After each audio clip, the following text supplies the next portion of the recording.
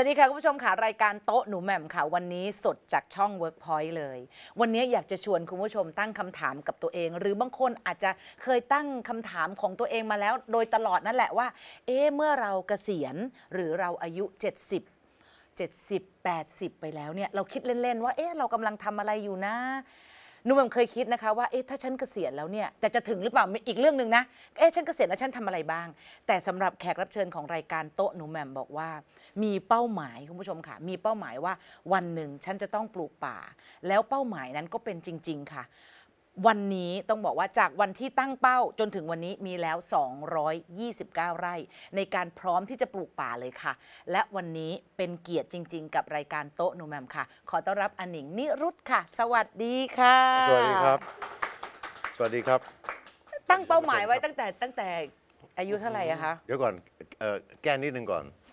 เมื่อกี้บอก 229 200 เท่าไหร่คะไม่ถึงครับเอ่อที่เป็นชื่อผม ที่เป็นของผมจริงๆเนี่ยค่ะ50ไร่ครับค่ะ ส่วนที่เหลือนั่นผมดูแลครับ เป็นของญาติญาติๆพี่น้องกัน อ๋อแต่ว่าอยู่ติดกันหมด แต่ถ้ารวบรวมแล้วที่ดูแลเอาดูแลด้วยทั้งหมดกี่กี่ก็ไร่ก็ที่พูดไปครับ229ไร่ทำเป็นอะไรทั้งหมดคะอาจารย์ก็ที่พูดนะทำเป็นป่าหมดแล้วครับจริงเหรอคะครับ ป่าอย่างเดียวมีผลไม้มีผักเอ่อออะไรอย่างอื่นไหมคะ พอเราพอเราเริ่มปลูกป่าผลไม้ที่ปลูกอยู่ก็ก็เริ่มเหี่ยวเฉาตายไปเพราะว่าไม่ถึงแดด ไม่ถึงแดด เพราะว่าไม้ป่าเนี่ยก็จะสูงมากนะครับค่ะมันมันมันสูงประมาณนคลุ10 10กว่าเมตรมันคลุม20 เมตร มันก็ก็ก็จะคลุมเอ่อที่ที่อยู่พอได้อยู่ก็ก็มังคุดอยู่ได้ แต่ว่าทุเรียนก็ก็เสียหายไปบ้าง แต่ก็ยังก็ยังเหลืออยู่ เพราะว่าทุเรียนเราไม่ได้เป็นทุเรียนป่าแบบโบราณ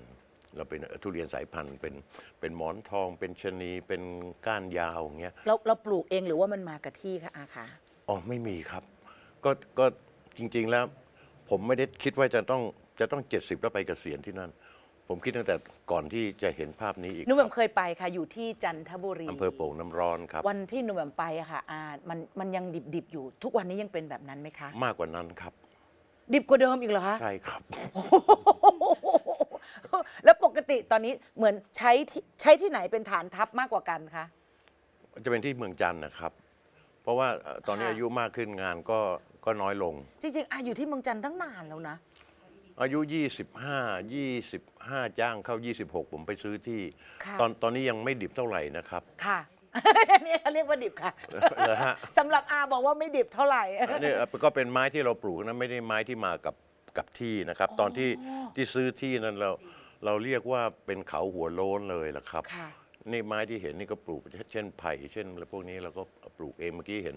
จะเป็นต้นเอ่อหูอย่างนี้ลำดวอย่างนี้ทั้งหมดเลยเหรอคะกลีบอาคะลำดวนฮะก็ก็จะมีไม้ป่าดั้งเดิมอยู่โอยู่บ้าง ค่ะ แล้วก็การที่เราจะปลูกป่าอันที่หนึ่งก่อนคือ เราไม่ไปยุ่งกับป่า ค่ะ ปล่อยให้เขายุ่งตัวเขาเอง จัดการของเขาเอง เขาจะมีลูกมีอะไรนกหนู ไปกินอะไรต่ออะไรมามาอึมาถ่ายก็ก็เราก็จะได้ไม้ที่หลากหลายเข้ามา แต่จากเอ่อ ที่ที่มันโล่งเตียน เมื่อก่อนเราต้องนอนกันกลางดินกินกลางทรายค่ะเหมือนกับเป็นนักแสดง เพราะว่าไปนอนนั่นป้องกันไฟป่าอืมสมัยก่อนจะจะจะปนกันทั้งชาวไร่และชาวสวนจะอยู่ที่อำเภอโป่งน้ำร้อนค่ะมาระยะ 30 ปีที่ผ่านมาหลังเนี่ยก็ก็จะแบ่งกันชัดเจนว่าเขตอำเภอโป่งน้ำร้อนเนี่ยจะเป็นสวน ค่ะ มากกว่าไร่แล้วมากกว่าไรละพื้นที่ที่ทำไร่ทำไร่ก็คือ2เดือน3เดือนก็เก็บผลผลิตได้2เดือน3เดือนแต่ชาวสวนนี่ปีหนึ่งจะเก็บผลผลิตได้ เขาย้ายฐานไปอยู่แถวอำเภอสอยดาว เพราะตรงนั้นเอ่อจะเป็นที่ที่แรงกว่า ฝนจะน้อยกว่าอ่าแล้วพืชไร่จะดีจะกดีว่ากว่า พืชสวนค่ะจะไม่เน่า เช่น ปอบ้าง อ้อยบ้างเอ่อข้าวโพดบ้าง หรือหญ้าหรือทำปศุสัตว์เลี้ยงวัว แต่สำหรับของเรานี่คือปล่อยให้เป็นธรรมชาติที่สุด แล้วก็นอกจากนั้นก็จะเป็นพวกชาวสวนอยู่อยู่เพราะฉะนั้นค่ะชาวสวนเมื่อชาวสวนอยู่เนี่ยก็ร่มรื่น ไฟป่าก็ลดน้อยลง เมื่อก่อนนี้ทุ่มหนึ่งสองทุ่มทานข้าวเสร็จก็ไปนอนก็ไปนอนอยู่ข้างนอกกัน สังเกตการณ์แล้เพวราะว่ามีหญ้าคาเยอะโอ้แล้วเราเพิ่งปลูกต้นไม้เล็กๆค่ะเช่นเอ่อทุเรียนลำไยลองกองมังคุด คือเขตอำเภอโป่งน้ำร้อนนี่ก็แปลกนะครับ พูดไปแต่จริง ๆ ก็ป ลูกได้หมดทุกอย่างอะปลูกที่อะไรในปก็ระเทขึ้นศไหมไทคะย ปลูกอะไรก็ขึ้น ก็ก็ผลไม้ที่มาจากต่างประเทศ อย่างเช่นอะโวคาโดสตรอเบอรี่เราก็ปลูกได้ ค่ะอู้จริงเหรอคะอาจริงครับ แล้วอะโวคาโดมันได้ลูกกินไหมคะ ได้เอาต้องต้องได้สิครับต้องได้ไม่ไม่มาปลูกแต่ต้นแล้วไม่มีลูกออกมามันผมเคยปลูกตั้งแต่ค่ะคิดตั้งแต่แรกตอนอายุ 27 28 ผมค่ะก็มาซื้ออะโวคาโดที่เขาเสียบยอดที่ปากช่อง ค่ะ มีอาจารย์ท่านหนึ่งแนะนำให้กลุ่มเกษตรกรปลูกอะโวคาโดเป็นไม้มาจากเมืองนอก ค่ะ ก็เขตเขตๆบ้านเรานี้ก็มีแถวเอ่อฟิลิปปินส์อะไรเขาก็ปลูกกันนะครับ ไม่ใช่มาจากซะอากาศก็จะตวันออกใกล้ๆกลางเราอะไรก็ใกล้ๆใกล้ๆกัน ก็ค่ะเราก็มีหนาวมีเย็นคือค่ะไม่ต้องการเย็นมากแบบแบบบลูเบอร์รี่หรืออะไรพวกนั้นที่จะค่ะ ต้องหมกหิมะแล้วก็ถึงจะออกลูกถึงให้ จะออกลูกค่ะ เอ่อผลไม้ที่ไม่ต้องหมกหิมะกระทบความเย็นอะโอคาโดผมก็ปลูกแต่ตอนอายุ 27 28 29ป ลูกมาออกลูกเมื่อกี้ถามออกลูกไหมออกลูกมาเป็นตันนะครับ ถ้าอย่างนั้นก็รวยเลยไหมคะ เพราะว่าอะโวคาโดก็ารคาวยรวยรวยจากอะโวคาโดมากเลย ให้คนงานเอ่อเหมารถกระบะ แล้วก็ไปส่งไล่ไปตั้งแต่ตลาดผลไม้ที่เนินสูงค่ะเขาก็ใส่หัว ก็อุตส่าห์ขับไปจนถึงแกลงระจังหวัดระยองเขาก็ใส่ใส่หัหัววค่ะคนงานก็ขับกลับมาบอกขายได้หมดเลยดีไหม่ได้ตังค์เท่าไหร่ ไม่ได้เลยเสียไปอีก 2,500ค่าน้ำมันค่าค่าที่เหมารถค่ะโอ้โหอะราคาที่เหมารถกระบะไป แล้วเขาบอกไอ้โดโดอะไรเนี่ยไม่มีใครซื้อไม่มีหอกใครสนใจเขาก็เอาเข้ามาในกรุงเทพอาจ๋าไม่มีคนรู้จักกรุงเทพตอนนั้น เมื่อผมอายุอื้อหือผมอายุ 76 แล้วนะฮะตอนนี้ ตอนนั้นที่ผมทำมา 27 นะครับ ส่วนใหญ่เวลาคนเขาทำสวนแบบเนี้ยมันแล้วในห่างกันที่เยอะ50 ๆเขาก็เขาต้องคิดถึงว่ามันต้องมันต้องมีรายได้ มันต้องมีขายผลไม้ได้เหมือนของอาตุ่มอะค่ะ รวยเลยนะคะ อาคิดถึงมุมนั้นไหมคะ ให้เขารวยไปเถอะครับ ให้ให้ให้เขารวยไปเถอะ ให้เขาเป็นเศรษฐีไปเถอะครับ ชาวค่ะสวนผมผมก็ยินดีกับเขา เพราะว่าถ้าเผื่อว่าเราไม่ได้คิดแปลกหรือว่าคิดแตกต่างจากคนอื่น แต่แต่เราคิดว่า การที่จะจะรวยได้เนี่ยต้องทำงานหนักมาก เพราะเรามามองกันที่ปลายเหตุ ว่าตัดทุเรียนตอนนี้นะ เมื่อสองอาทิตย์เนี่ยผมอยู่เมืองจันทร์เนี่ยผมก็ถามน้องบอกตอนนี้ทุเรียนเป็นยังไงสองอาทิตย์ที่แล้ว อาทิตย์เดียวอาทิตย์ที่แล้วเนี่ยผมค่ะ ผมกลับมาเมื่อวันวันพฤหัสวันศุกร์เนี่ยแล้วก็มาเพื่อมาออกรายการคุณเนี่ยเอ่อตัดที่สวนกรึบหนึ่งลูกหนึ่งต่อกิโลร้อยเจ็ดสิบบาท ค่ะ เกิดมาท้องพ่อท้องแม่แต่ผมทำทุเรียนมา ผมไม่เคยได้ขนาดนี้ เพราะว่าได้เพราะว่าอาไม่ได้มองถึงเรื่องของของเรื่องเงิน เรื่องของธุรกิจไหมคะ ในสำหรับสวนทองจันทร์ใช่ไหมชื่อทองจันทร์ยังยังชื่อเดิมไหมคะอาคะเออผมไม่เคยหาเลิกหายามเปลี่ยนชื่ออะไรเลยเดี๋ยวนี้เขามีฮิตค่ะชื่ออาตัวคะเองเบอร์โทรศัพท์ก็ไม่เปลี่ยนไม่ผมเป็นยังไง ก็ขอให้เป็นอย่างนั้นไปตลอดครับค่ะ เพราะว่าเอ่อเขาตั้งมาให้เราดีแล้วครับ กี่ปีแล้วคะอาที่ไปอยู่ที่ ก็ตั้งแต่ 25 ครับย่าง 26 จนถึงตอนนี้50 ปีอะครับ อ๋อตอนนั้นห้าที่สิบปี ท่านตอนแรก ๆที่ไปอยู่ เนื่องจากว่าที่ของจันทบุรีที่อาอยู่ใกล้ติดชายแดน เขมรครับ เขมร กัมพูชาครับ แล้วเวลามียิ่งมีณณวันนั้นนะคุณผู้ชมขาได้ยินเสียงไหมคะ เออไม่ได้ยินฮะเพราะว่านอนอยู่เนี่ยมันกระเด้งขึ้นมาเลยครับ มัน ไม่ได้ยินนะคะคุณผู้ชมค่ะตอนแรกเราก็โล่งใจเพราะเราหลับไงเราก็โล่งใจเรานอนหลับเรานอนหลับไงอยู่มันไม่ได้กระเงยินนะฮะขึ้มาแต่ว่าตึ้งเขาจะเขาเสียงก็จะตามมาทีหลังค่ะ เหมือนกับเหมือนกับฟ้าแลบฟ้าผ่าอย่างเงี้ยแฟบเป็นจะไฟออกมาก่อน แล้วก็ตัวเราก็สั่นตึ้งมาแล้วก็เสียงตามบึ้มเขาเรียกเขาเรียกปืนแบบแบบปืนปืนใหญ่ที่ที่เขายิงไปเตือนทางเอ่อทางราชอาณาจักรกัมพูชาว่าลูกปืนคุณที่คุณลบเป็นอยู่มันตกในเขตของเราค่ะ แต่ว่าฐานที่เขาตั้งเนี่ยห่างจากบ้านไปสักกิโลเดียวอะครับ ไม่กลัวเหรอคะ ไปอยู่สักใกล้ขนาดนั้นอ่า ถ้าเรากลัวอะไรเราคงทำอะไรไม่ได้เลยในชีวิตทำไมถึงเป็นจันทบุรีอาจารย์อันนี้เป็นคำถามที่ที่ฮิตมาตั้งแต่เริ่มจนถึงบัดนี้ก็ยังฮิตเราอยู่ก็จะว่ถามทำไอีกค่ะ ใช่ครับเอ่อสงสารคนตอบบ้างเถอะครับ ไม่ค่ะอาค่ะเปล่าพูดเล่นไม่ไม่ค่ะไม่ใช่อาอะ คุณผู้ชมจริง ๆ แล้วเนี่ยเด็กรุ่นใหม่มีอีกหลายเรื่องที่คุณไม่รู้ว่าผู้ชายคนนี้ทำแล้วคุณอาจจะได้ยินเสียงท่าน คุณอาจจะได้เห็นผลงาน แต่คุณไม่มีทางรู้ว่าชีวิตของท่านกว่าจะเดินมาถึงจุดนี้มีอะไรไม่ต้องบ้างท่านหรอกครับ เออท่าน ยังไม่ได้บวชยังไม่ได้บวชเออคุยกับพระเถอะครัทำไมทำไมถึงเป็นจันทบุรีอีกหนึ่งครั้งค่ะอาจารย์ เออเอาง่ายๆสรุปก็คือ การแสดงของเราเนี่ยได้ได้ได้ไปเกือบทั่วประเทศ และตอนนั้นก็ จะบอกก็คือความรู้สึกส่วนตัวเนี่ยผมผมอยู่กับบ้านนอกมาตั้งแต่เกิดบ้านนอกผมก็หมายถึงว่ามันไม่ได้มีความเจริญอยู่ในประเทศไทยเท่าไหร่ เรายังมีเรายังมีเวนิสแห่งภาคตะวันออก แล้วก็ออกข้อสอบทุกปีเป็นข้อสอบช่วยในะตอนสอบไล่เนี่ยก็จะถามว่าประเทศอะไรที่เรียกถูกเรียกว่าเวนิสตะวันออก เราก็จะตอบถูกว่ากรุงเทพมหานครนะครับ เดี๋ยวนี้ถามว่า ประเทศไหนในโลกที่เรียกว่ามีทางด่วนพาดพิงอยู่บนหัวเรามากที่สุด เราก็จะตอบว่ากรุงเทพมหานครก็กลายเป็นอันนี้ภูมิใจใช่ไหมคะ ภูมิใจเอ่อภูมิใจครับภูมิใจเราเอาสายน้ำออกไปหมดแล้วเราก็ได้อะไรได้อยู่บนได้หัวได้เต็มปอะไรหมดบนหัวเราแทน แล้วก็แย่งน้ำเราไปแย่งถนนเราไปค่ะก็ไม่เป็นไรอย่าไปพูดถึงเรื่องนั้นก็ก็ก็คือคิดว่า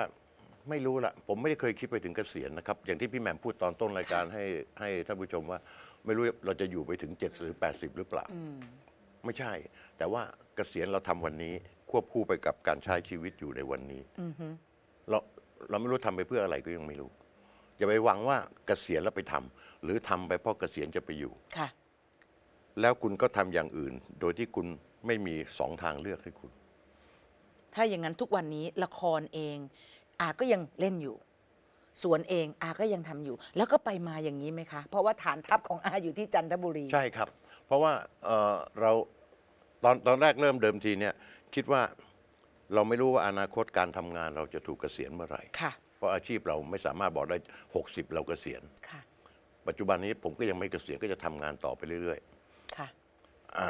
เมื่อเราไม่มีเกษียณ ค่าใช้จ่ายของเราส่วนตัวเรามี ค่าใช้จ่ายของสวนเรามีเรามี ค่าใช้จ่ายของคนงานเรามีค่ะงั้นผมก็คิดตั้งแต่อายุ25 26 แล้ว แสดงภาพยนตร์เรื่องแรกก็ขออนุญาตคุณแม่บอกว่า ผมมีตังค์ละ ผมไม่ยุ่งกับแม่ ไม่ขอตังค์แม่ละโตละค่ะผมจะไปซื้อที่ ผมก็เริ่มตะเวนหาจนกระทั่งมาเจอที่จันทบุรีเราก็ได้เปรียบเทียบกันหมดทุกอย่างหนึ่งเราดูเรื่องคนก่อนค่ะเราจะไปอยู่บ้านใคร เราดูเจ้าของบ้านก่อนว่าเขามีนิสัยใจคอเป็นยังไงอันที่สองสิ่งแวดล้อมรอบตัวที่เราจะไปอยู่เป็นยังไง งั้นเราก็พบว่าคนจันทบุรีผู้จาผงผางแต่จิตใจดีค่ะ เราไม่ค่อยมีอาชญากรรม เราไม่ค่อยมีการฆ่ากัน เราไม่ค่อยมีการปล้นทองกัน เราไม่มีการปล้นธนาคารกัน เนื่องจากว่าเราทุกคนอยู่กันแบบแบบสมถะเพราะทุกคนเป็นเจ้าของสวน ค่ะ ไม่มีใครไม่เป็นเจ้าของสวนเลย ค่ะ ก็เป็นเจ้าของสวนเก่าตั้งแต่ในตัวเมืองจันทร์แล้วก็จะมีสวนมีเหมืองแร่ มีเหมืองแร่ มีบ่อพลอย มีทะเล ค่ะ มีธรรมชาติ มีภูเขา มีน้ำตกครบที่นะคะ ครบเคครบรื่อง ครบหมด ใช่ค่ะ เอ่อเรา เราคิดถึงว่าเอ่อความดีแล้วก็อีกประการหนึ่ง เราขับรถไปถึงบ้านได้ แม้จะใช้เวลาประมาณ8ถึง10 ชั่วโมง ไปถึงอำเภอโป่งน้ำร้อนได้ในสมัยนั้นแต่ไกลมากแปดถึงสิบชั่วโมงเลยเหรอคะอาเพราะว่าเราต้องเริ่มต้นแต่กรุงเทพไปสมุทรปราการผ่านบางปิ้งไปบางปูเขาพาเราถนนบ้านเราเขาทำให้เราไปท่องเที่ยวทุกจังหวัดครับ นี่เป็นการส่งเสริมการท่องเที่ยวตั้งแต่ผมยังเด็กแล้วครับ คุณก็ไปเที่ยว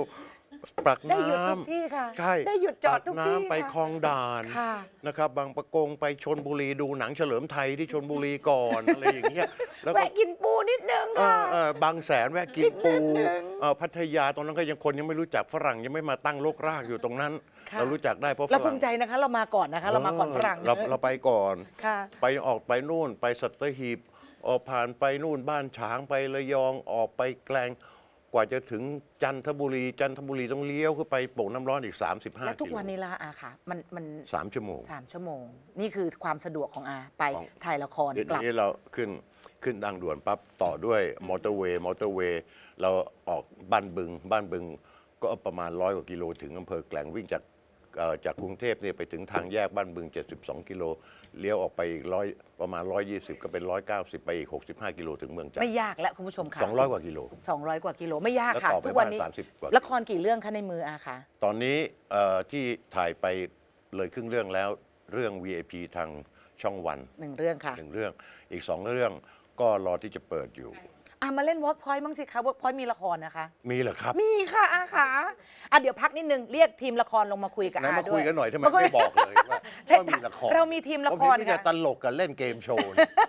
อะเดี๋ยวอย่างนี้คุณผู้ชมค่ะขออนุญาตพักแป๊บหนึ่งเดี๋ยวช่วงหน้ามาคุยกัน เมื่อกี้นวมจับใจความได้ว่าทำทั้งหมดเนี่ยไม่ได้หวังรวยหรอกแต่หวังอะไร ช่วงหน้าคุยกันสักครู่ค่ะ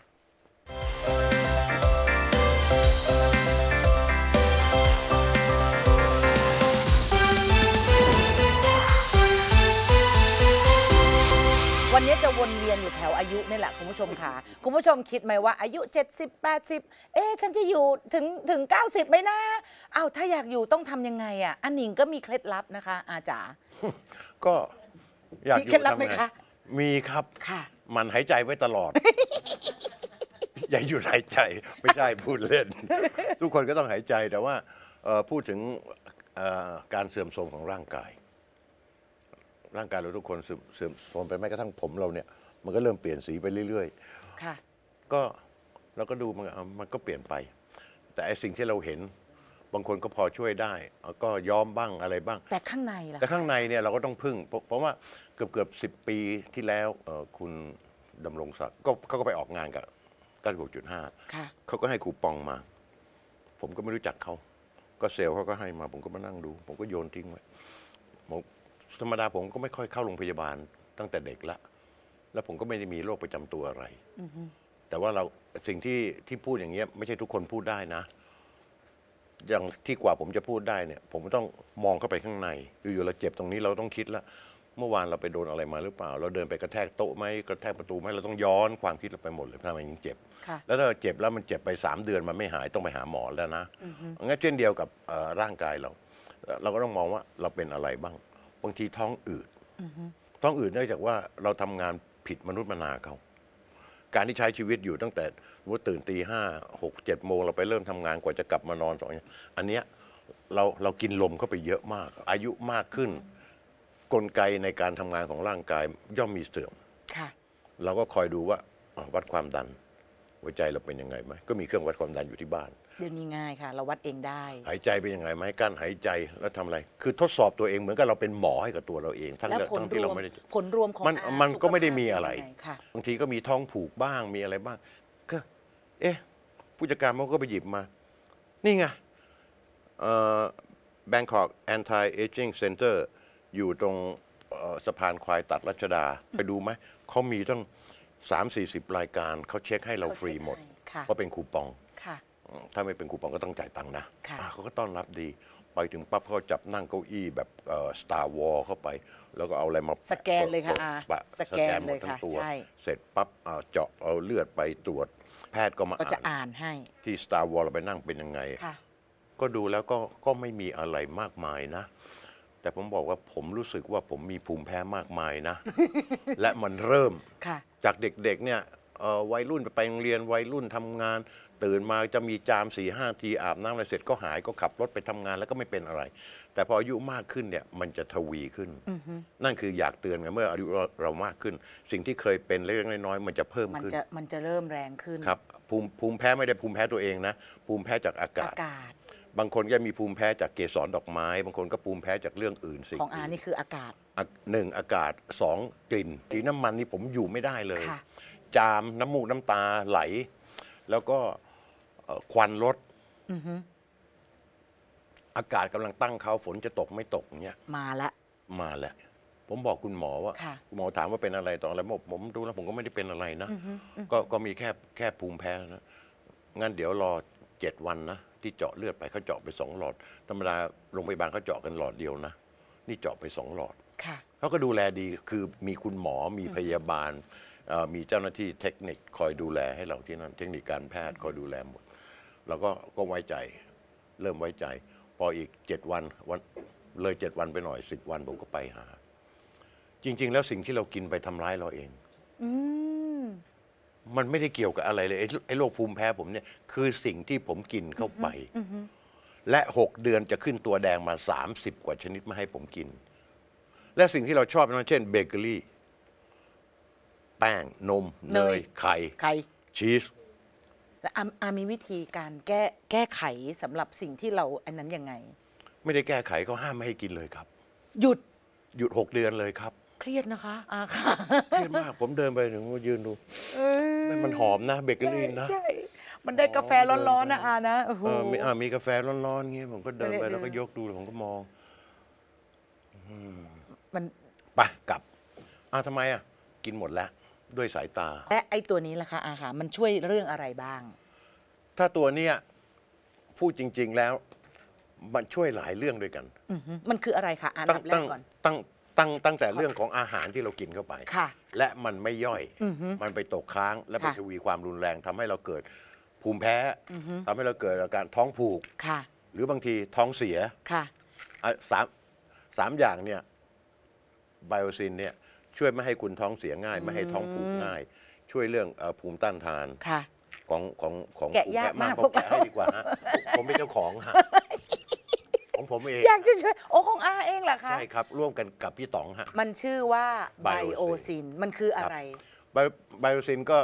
พูดง่ายๆคือเอ่อเรา หลังจากคุยกันอะผมเป็นโรคอย่างนี้เรื่องทางเดินอาหารเรื่องเรื่องภูมิแพ้อะไรอย่างไรเงี้ยพี่ต๋องเรามาหาอะไรกัน เพราะว่าพี่ต๋องก็มีหมอมีมีเทคนิคการแพทย์มีอะไรอยู่นะแล้วก็เลยมาค้นหาว่าเขาคือจุลินทรีย์ตัวดีประมาณ 15 ชนิดอ่าที่เราเป็นพวกที่เราโปรโปรไบโปรโอไบโอติติกที่เราใส่เข้าไป แล้วก็มีไพรโบติกคือตัวเสริมที่ที่คู่กันแล้วก็เราเรียกว่าเป็นอาหารให้กับโปรไบโอติกโปรไบโอติกเนี่ยเราสามารถกินได้ตั้งแต่ภูสร้างภูมิภูมิต้านทานก็ผมก็ทานมาตั้งแต่ตอนโควิดเริ่มระบาดอะค่ะ ก็เป็นโปรไบโอติกแต่ไม่ใช่ตัวนี้ ตัวนี้เรามี 15 สายพันธุ์ในนี้มีทั้งหมดใส่15 สายใส่พัเข้านธุ์ไปแล้วก็มีประมาณ20,000 ล้านตัวอยู่ในนี้รวมกันอยู่ในในหนึ่งแคปซูลเป็นแคปซูลซึ่งแบบนี้ซึ่งทานง่ายซึ่งในนี้มีเป็นเป็นอาหารเสริมเสริมอาหารคุณผู้ชมขาเรียกว่าเรียกว่าโปรไบโอติกๆภายใต้ยี่ห้อ Biosyn Biosyn และได้ยี่ห้อ Biosyn ที่พี่แหม่มถือเนี่ยเราใช้นวัตกรรมใหม่เราเรียกว่าซินเทคค่ะ ซินเทคคือเอ่อเราเป็นแคปซูลที่ที่ไม่เหมือนกับแคปซูลเอ่อสมัยก่อนค่ะซินเทคเนี่ยเราจะไม่ถูกทำลายหรือตัวเอ่อจุลินทรีย์เราไม่ถูกทำลายตั้งแต่น้ำลายน้ำลายเราเราวางไปเนี่ยน้ำลายเราใช่มีด่างใช่ค่ะเอ่อลงไปเนี่ยมีกรดมีด่าง พอกว่าจะไปถึงลำไส้ ลงไปถึงกระเพาะอาหารไปถึงลำก็ไส้หใหมญ่ดกันพอดีเกือบเกือบหมดเกือบแล้วกันหมดแล้วแต่อันว่านี้ไม่ซินเทคนี่ก็จะควบคุมลงไป และจะไปแตกกระจายตรงลำไส้และจุดที่ที่เราต้องการให้ลงไปถึง เพื่อที่จะให้ดูแลเรื่องของ จุลินทรีย์ก็เราบอกแล้วเรามี 20 ล้านตัวอาจจะเหลืออยู่ถ้า10ล้านตัวก็ครึ่งหนึ่งละแล้วก็จะไปออกลูกออกหลานแล้วก็คอยดูแลแล้วก็ช่วยระบบการย่อยให้กับเรา ผมอายุมากขึ้น บางทีเราทานเนี่ยกับมารยาทนั่งทานโต๊ะเนี่ย อะไรที่เหนียวเหนียวๆหน่อยหรือเคี้ยวๆเนี่ยเราก็ไม่กล้าคายไปเสียว่าก็อมแล้วกลืนเนี่ยแล้วมันก็ย่อยหลายกคนเป็นย่อยยากอะครับ แล้วก็ทำให้ไม่ย่อยถ้าไม่ย่อยอาจจะ กรดไหลย้อนนี่มันก็ไม่ได้เกี่ยวกับการย่อยยาบางทีเราทานอาหารแล้วเราไปนอนเร็วขึ้น ค่ะ แต่อย่างเราไม่ค่อยมีเวลาอันนี้คือดูแลเรื่องกรดไหลย้อนกรดด้วยไหลย้อนด้วย กรดไหลย้อนค่ะ เอ่อภูภูมิมิแพ้แพ้นะฮะสร้างภูมิต้านทานให้กับเราเอ่อเหมือนกับว่าเราไม่ได้ยินคำว่าสร้างกองทัพให้กับร่างกายเราข้างในอืม นะครับอย่างเช่นว่า เรามีเรามีพวกไวรัส หรือเอ่อจุลินทรีย์ตัวเลวหรืออะไรเข้าไปเนี่ยเราก็จะมีกองกองทัพที่จะต่อสู้วิธีการรับประทานคือ อันนี้อันนี้ผมบอกเป็นเคล็ดอีกนิดนึงนะฮะค่ะคนที่มีน้ำหนักเนี่ยค่ะตัวใหญ่เนี่ยเราไม่พูดคำที่มันไม่สุภาพว่าอ้วนเนี่ยเราไม่พูด เราพูดคำว่าตัวใหญ่ พูดไปแล้วค่ะอะพูดไปแล้ว พูดไปแล้วค่ะอาค่ะผมไม่เป็นไรค่ะอะ ไม่เป็นไรค่ะอะ ก็หรือว่ามีอาการอย่างที่ผมพูดไปทั้งหมดแล้วสองว่าแคปซูล เอ่อสองแคปซูลก่อนนอนเท่านั้นเอง โอ้ คุณผู้ชมค่ะกินง่ายมากเลย แล้วราคาก็ไม่แรงด้วย จากที่เห็นเนี่ยขออนุญาตจัดโปรให้คุณผู้ชมได้ไหมคะ เอาพี่เออพี่พี่พี่หนูแหม่มขายให้ผมทีเลยครับ ผมผมผมอายที่จะมานั่งขายแล้วคุณก็ผู้ชมรู้ไหมบอกว่า ท่นผู้ท่ผู้ชม นักแสดงที่กวนทรีน ในอันดับต้นๆนะ ยุคแรกเนี่ยต้องคนนี้เลยคุณผู้ชมขามาถึงตรงนี้แล้วเนี่ยพี่หนูแหม่มจะเป็นคนขายให้เองนะคะ น้องหนิงนะคะ น้องหนิงรอเดี๋ยว น้องหนิงนั่งเฉยๆค่ะเดี๋ยวพี่หนุ่มขายให้ขออนุญาตบอกโปรแทนอันหนิงนะคะ ก็คือปกติแล้วเนี่ยหนึ่งหนึ่งกระปุกแบบนี้เนี่ยจะราคา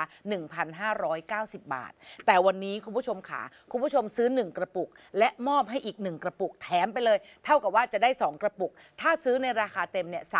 3,180 บาท ไม่ต้องจ่าย คุณย้อนกลับไปจ่าย1,590 บาท เท่านั้นเอง แล้วรับไปเลย 2 กระปุก ถ้าคุณผู้ชมรู้สึกว่าชีวิตฉันเนี่ยมันมีค่า มันต้องเดินต่อไป อายุปูนนี้เนี่ยมันต้องอยู่ถึง 90ถึงร้อยเพราะฉะนั้นคุณผู้ชมต้องการหยิบมือถือขึ้นมาแล้วโทรมาที่ 02 275 2232 02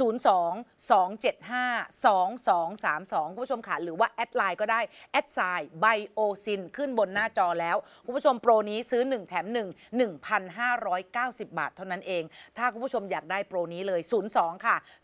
275 2232 หรือว่า add ไลน์ก็ได้ at sign นะคะไบโอซิน จริง ๆ ผลลัพธ์หลังส่งจากฟรีครับ ส่งฟรีทั่วประเทศด้วยค่ะ เก็บเงินปลายทางได้ด้วย อามั่นใจผลลัพธ์เป็นยังไงบ้าง อาถึงยอมเป็นเจ้าของ อยู่ไม่ใช่อยู่อยู่ดีๆ แล้วผมจะเอาสตังค์ที่ผมเก็บไว้เพื่อเพื่อใช้ตอนเกษียณ แต่ตอนนี้ก็ยังไม่ได้เกษียณนะครับ แต่ว่าเราก็ต้องเก็บเผื่อเอาไว้ แล้วก็มาลงทุนกับเอ่อ คุณต๋องเนี่ยเพื่อเพื่อมาทำอะไรก็ไม่รู้ออกมาขาย หรือเอามาหลอกลวงเนี่ยมันก็จะขายได้สักร้อยกระป๋องก็ก็คงร้อยขวดก็คงไม่มีใครซื้อแล้วค่ะแต่ว่าก่อนที่เราจะนำออกมาแล้วก็มาร่วมหุ้นกันแล้วก็มาทำตัวนี้ ผมก็อยากมีมีธุรกิจในหลังจากนี้ไปเผื่อเกษียณไม่มีงานไม่มีใครก็จ้างค่ะก็ก็เลยคิดว่าอะงั้นลองให้ผมทานก่อนได้ไหมผมทานตั้งแต่ ถ้าผมจำไม่ผิดกรกฎาคมที่แล้วค่ะนี่ก็จะเข้าปีหนึ่งละ ผมทานครั้งแรก คืนแรกเม็ดหนึ่งเนี่ย ผมผมผมรู้สึก เอ๊ะทำไมธรรมดาผมขับรถไปต่างจังหวัดผมจะกลับบ้านที่เมืองจันทร์ขับเองครับ ผมไม่เคยเข้าห้องน้ำขอประทานโทษนะครับ ไม่เคยเข้าห้องน้ำในในในปั๊มน้ำมันในเลปั๊มยน้ำมัน วันนั้นทนไม่ได้ต้องเข้าโอ้ก็ไปปรับสมดุลในร่างกายให้เราโอ้แล้วก็ผมก็ทานมาเรื่อยๆ อย่างที่เราคุยกันเมื่อตอนต้นรายการว่า ผมมีโรคประจำตัวเป็นโรคภูมิแพ้คือแพ้อากาศใช่ไหมครับค่ะสามเดือนที่ผ่านมาเนี่ยยาแก้ปวดศีรษะ ยาแก้เอ่อลดน้ำมูก ผมไม่ได้ทานเลยครับอืมเมื่อก่อนเวลาเข้ามากรุงเทพเนี่ยอยู่ไม่เกิน 3 วัน ผมค่ะต้องทานพารา หรือว่ายาลดน้ำมูก นี่คือผลลัพธ์และยังมีอีกหลายคนที่มีผลลัพธ์ที่ดีเมื่อกี้เราขึ้นบนหน้าจอให้หมดแล้ว ถ้าหากว่าคุณผู้ชมอยู่ในอยู่ในกลุ่มประเภทนั้นหนูแบบว่า เอาแบบโรโมเดลจากคุณนิรุตได้นะคะ คุณผู้ชมกดมาที่ 0 2 2 7 5 2 2 3 2 0 2 2 7 5 2 2 3 2 สิ่งที่ได้โปรนี้คือซื้อ 1 กระปุกแถม 1 กระปุกในราคา 1,590 บาท add ไลน์ก็ได้คุณผู้ชมค่ะ at sign ไบโอซินส่งฟรีแล้วก็เก็บเงินปลายทางได้ด้วยค่ะ ในขวดนี่มี 30 เม็ดนะครับ เฉลี่ยแล้วเท่ากับ 20 กว่าบาทเองต่อหนึ่งแคปซูลถ้าคุณผู้ชมกินวันละหนึ่งแคปซูลก็ 1 เดือนพอดี แต่ถ้า 2 ก็คุณผู้ชมขา ครึ่งเดือนเนาะครับ15 วัน และอยากจะบอกคุณผู้ชมแบบนี้ว่าแวะซื้อให้คุณพ่อคุณแม่ทาน ดูแลท่านให้อยู่กับเราไปอีกนานแสนนาน โปรนี้จัดให้คุณผู้ชมพิเศษเลยค่ะ พี่หนูแหม่มขอโทษครับ ไม่ต้องคุณพ่อคุณแม่ครับ ลูกๆก็ทานได้ 35 40 ก็ทานได้แล้วครับ เริ่มเลยคุณผู้ชมขาซื้อ 1 แถม 1 ค่ะ 02 275 2232 02 275 2232 หรือแอดไลน์ก็ได้ไบโอซินค่ะ 1 กระปุกแถมอีก 1 กระปุก 1,590 บาท พักตรงนี้อีกแป๊บหนึ่งคุณผู้ชมค่ะ เดี๋ยวคุยกันต่อช่วงหน้าสักครู่ค่ะ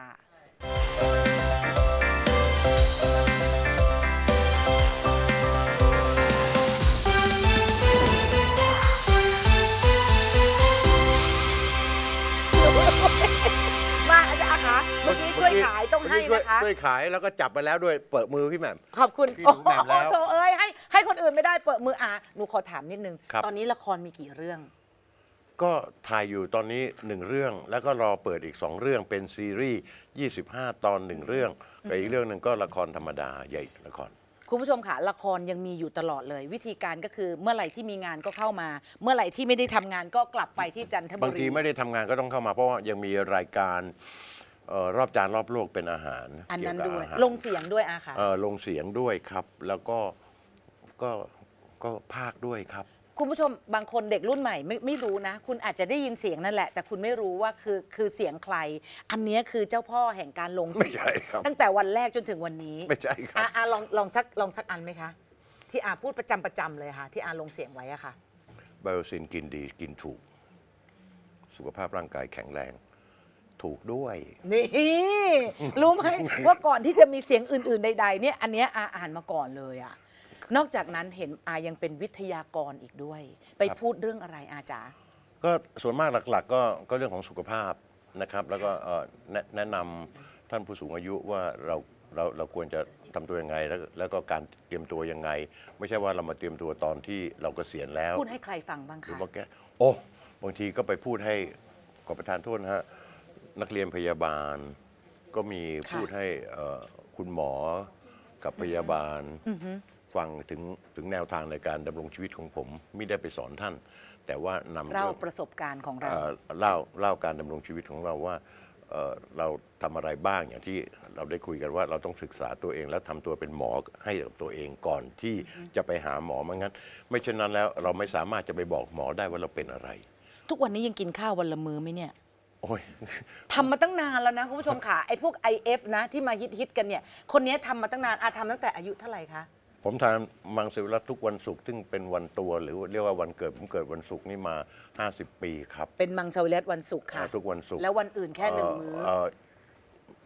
ทุกวันเลยครับ รวมถึงวันศุกร์ด้วยนะครับค่ะหนึ่งมื้อหนึ่งครับมื้อเพราะอะไรอาจารย์เพราะว่าเอ่อผมคิดว่าเราอายุมากขึ้นแล้วเนี่ย เอ่อเราทำไมไม่หยุดอะไรซะบ้าง อ่าพูดอะไรก็ได้ ให้หนูรู้สึกว่าหนูอยากไปกินหนึ่งมื้อสักที หนูควรจะเริ่มได้แล้วอาพูดเลยหนูจะฟัง เพราะนี่เป็นไอดอลนะ แต่ไม่เคยทำได้เลยอาจารย์ ผมถามพี่หนูแหม่มว่า พี่หนูแหม่มทานสามมื้อห้ามื้อ เหมือนกับคนปกติเขาทำพี่แหม่มสูงขึ้นอีกเซนหนึ่งไหมไม่ มันกว้างค่ะอา มันไม่ยาวค่ะมันั่นกไงว้าง เราก็เปรียบเหมือนกับธรรมชาติ ผมนั่งดูต้นต้นไม้ตั้งแต่ผมหย่อนเม็ดไปเขาก็ขึ้นมากระแหลนแป่นอย่างเงี้ย แล้วพอเขาหยุดความสูงแล้วปั๊บเนี่ยเขาเริ่มออกรอบวงกลมละอืมเพราะฉะนั้นยิ่งให้ยิ่งกินเขาก็ยิ่งยิ่งยิ่งยิ่งออกตรงแล้วนี้มื้อเดียวมันมันไม่หิวเหรออา ถ้าหิวเราก็อยากกินสิเราก็กินสองมื้อสิ แยกสองมื้อได้ใช่ไหมก็ก็เขาเริ่มมาสองมื้อแล้วอ่าพวกเรามีใจใจชื้นอะก็ก็คุณอาจจะเอ่อทานเช้าทานเที่ยง หรือสิบเอ็ดโมงเหมือนพระก็ได้นี่ กินเมื่อหิว ใช่ ผมไม่ถาใช่มไม่ใช่ไม่หิวแค่อยาก ก็หยุดไว้อย่ากินอย่างไม่นี้กินใช่ไหมฮะอาไม่กินอืมอืม ไม่กิน เพราะว่าผมให้อย่างที่ว่าเมื่อเมื่อเราเป็นหมอให้ร่างกายเรา ค่ะ เราก็ให้ร่างกายเราเป็นคนสั่งเรา อืมหรือเป็นหมอให้กับเรา หนูจะกลับไปสะกดจิตตัวเองแล้วนะเนี่ย ไม่ใช่เราใช้ความคิด แล้วเห็นโหไบโอซินน่ากินใครกินคืนละเม็ด แล้วคุณหยิบมากินเช้ากลางวันเย็นเลยมันก็ไม่ใช่แล้วไงมันมันก็ไม่ใช่ over ไง ใช่ อาตั้งเป้าหมายกับตัวเองไว้ทั้งไง ตั้งแต่ตั้งแต่มีไบโอซินอาคิดว่าเราจะต้องอยู่จนถึงเท่าไหร่ และต้องไม่ติดเตียงด้วย ผมผมไม่ได้คิดอะไรถึงขนาดนั้น ผมผมคิดว่าเอ่อนอนหลับไปแล้วก็ตื่นมา แล้วนอนหลับไปแล้วมันไม่ตื่นมามันก็มันก็ช่วยอะไรไม่ได้เอาแล้วใครจะดูแล 50 ไร่อะเอาก็มีคนงานอยู่แล้วก็ก็มันเป็นเรื่องของเขาแล้ว ผมเกิดมา เพื่อมาดูแลเท่านั้นผมไม่ได้มาเป็นเจ้าของไปตลอดเวลา ผมมาดูแลแล้วก็ใช้ความสุขอยู่กับเขาให้มันได้มากที่สุด เหมือนกับคุณแต่งงานกับใครคนหนึ่งค่ะคุณจะมาบอกว่าคุณจะไปก่อนหรือเข้าไปก่อนไม่ได้นะมันมันไม่ใช่เลือกไม่ได้มันมันมันมันไม่ทำไม่ได้ค่ะและเมื่อเราไปแล้วเนี่ย มันจะเป็นอะไรเราก็ไม่รู้แล้วอย่างที่เขาพูดทำอะไรเยอะแยะไปก็ตายไปก็เอาไปไม่ได้ไอ้นั่นไอ้นั่นอย่ามาด่ากัน ทุก ฉันจะทำเยอะแยะตอนนี้ฉันจะปลูกป่าให้หมด คนก็เดินมาชี้ ปลูกป่าทำไมขอผมเช่าได้ไหมที่ไม่เอาผมจะปลูกแบบผมไม่ปลูกก็ปีหนึ่งแรงๆผมก็ปลูก 500 ต้น แล้วผมก็จะเลือกปลูกหัวฝนตอนเนี้ยอืมฉันมีเป้าหมายปีหนึ่งบางทีผมก็ปลูก 20,000 ต้น ค่ะ แล้วคนก็รู้พอวันเกิด ผมแทนก็จะเอาของขวัญมาให้เขาเอาต้นไม้เอาต้นไม้ก็เอามาคนมา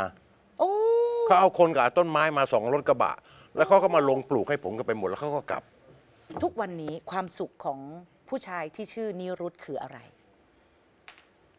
ก็คือแบบนี้ละไม่ได้กลวนกลวนทรีนใครกวนตัวเอง เมื่อกี้ผมก็ใช้คำที่แบบก็คือกวนทรีนก็คือค่ะก็คือใช้ชีวิตอยู่ในในในสภาพที่เราเป็นและยอมสภาพ ยอมรับสภาพที่เราเป็นและหาความสุขเท่าที่เราจะหาได้ และมีอะไรดี ๆ ที่ ที่ให้กับตัวเราแล้วเราคิดว่าดี แล้วก็เผื่อแผ่ให้กับคนอื่น ตอนนี้ถ้าถามเรื่องในชีวิตของอาอะไรสำคัญที่สุด อะไรสำคัญที่สุดไม่มีอะไรที่สำคัญที่สุด ทุกอย่างสำคัญเท่ากันหมด ชอบอะ ชอบชอบวิธีคิดนุ่มแบบคิดตลอดว่าเอ๊ะฉันจะวางโพสิชันยังไง เป็นคนวางแผน ไม่ไม่มี เป็นจอมวางแผนจอมวงการ ถ้าอยู่แบบเนี้ยสบายไปแล้ว ตื่นมาคุณบอกว่าล้างหน้าสำคัญที่สุดแล้วคุณไม่แปรงฟันเหรออื มมันสำคัญเหมือนกัน แต่ละอย่างในส่วนของร่างกาย แต่ละอย่างของความคิด แต่ละอย่างของการทำงาน คุณจะไปเป็นพระเอก คุณจะไปเป็นผู้ร้าย งานสำคัญที่สุดตอนนั้นดังนั้นแต่ทุกอย่างแต่ละอย่างแต่ละอย่างในการดำเนินชีวิตในแต่ละวัน ทุกอย่างสำคัญที่สุดรวมคนทั้งรอบข้างสังคม การที่การทำของเรารวมทั้งดูแลชีดูวิตแลของชีเราวิตด้วยมันสำคัญที่สุดก็ก็อยากให้ทุกทุกๆท่านเป็นเศรษฐีแห่งสุขภาพครับ ถ้าคุณผู้ชมอยากเป็นเศรษฐีสุขภาพดูโปรนี้เลย ขออนุญาตเข้าโปรนะคะน้องหนิใครงอีกแล้วเลยครับพี่ ออนุญาตเข้าโปรนะคะเดี๋ยวต้องให้อีกขวดแล้วครับพี่หนูเพราะว่าแหม่มครับเพราะว่าน้องหนิงให้มาขวดแล้วก็อยากได้อีกขวดคุณผู้ชมขาจริง ๆ แล้วสำคัญที่สุดคือการดูแลสุขภาพ ถ้าอยากมีความร่ำรวยของสุขภาพต้องจัดโปรนี้เลยคุณผู้ชม ซื้อ 1 กระปุกแถมอีก 1 กระปุกในราคา 1,590 บาทค่ะ วันนี้โปรนี้ในร้อยสายเท่านั้น ถ้าคุณผู้ชมเลยไปแล้วก็จะเสียดายมากๆ หยิบมือถือขึ้นมาแล้วกดมาที่ 02 275 2232 02 275